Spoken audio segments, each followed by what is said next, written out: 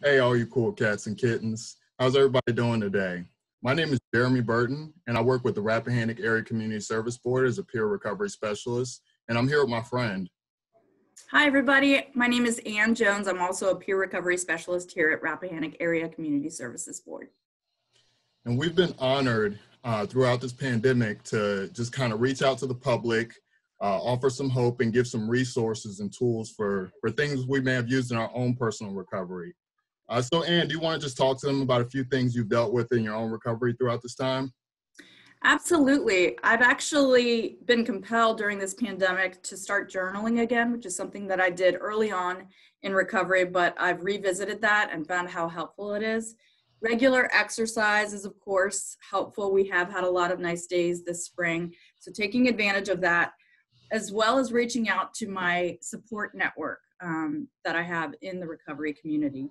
We've compiled a list of online recovery meetings that uh, you can easily go to if you download Zoom, which is www.zoom.com.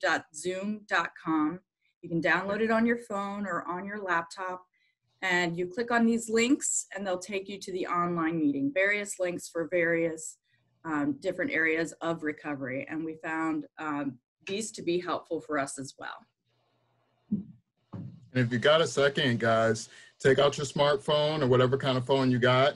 Take a quick snapshot of these. Um, so that way you'll be able to hop on a Zoom meeting. And we just wanted to say, um, you know, just like Ann, for my own personal recovery, I've been using a lot of the Zoom online meetings. Uh, we're on Zoom right now, so it's not so bad. It's actually cool to interact and to get connected and stay connected. Um, also, some things that I've been doing throughout this time is um, because I live alone, one of the things I've been doing is trying to get out and walk a little bit more. Um, picking up my phone and calling my network is so important. And I know I've heard it.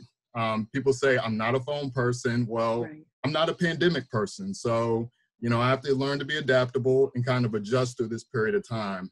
Um, mm-hmm.